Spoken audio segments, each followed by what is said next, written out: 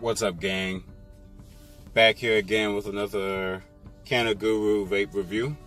Today we're going to be reviewing Diablo OG.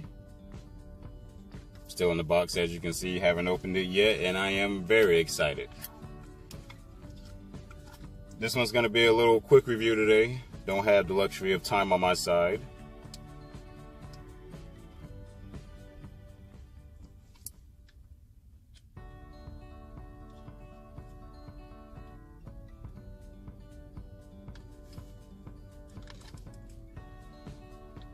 Shout out to Seego as well. They make an awesome battery. Some people will be like, oh, what's so amazing about it? Well, your vape goes away. Same time it protects it if it falls, you know. It won't just immediately smash on the ground. I've lost over a hundred bucks from bullshit like that. And it comes out kind of like a switchblade. It has a nice little release button. You push that, just flips right on out. But yeah, let's go ahead and try this.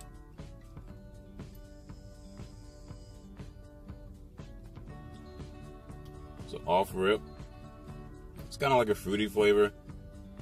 Tastes kind of like White Widow. Tastes tastes kind of just like White White Widow. Not bad though.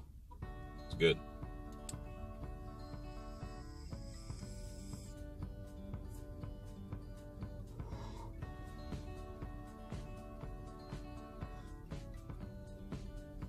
Now it's starting to taste a little fruity. Er, can't pinpoint that fruit exact. I want to say juicy fruit. What does juicy fruit specifically taste like?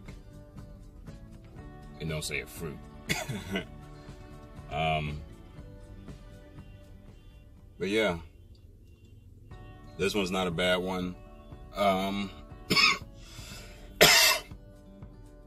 uh, I would probably call this second or third tier not top tier, first tier like Skywalker OG or Gelato, for example. But it's not a bad one to pick up. Uh, Diablo seems like it has potential.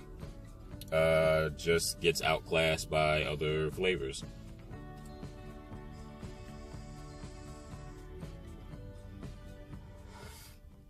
Yep. Not bad. Alright, guys. Well, I got to get to work. Uh, thanks for the view. The views.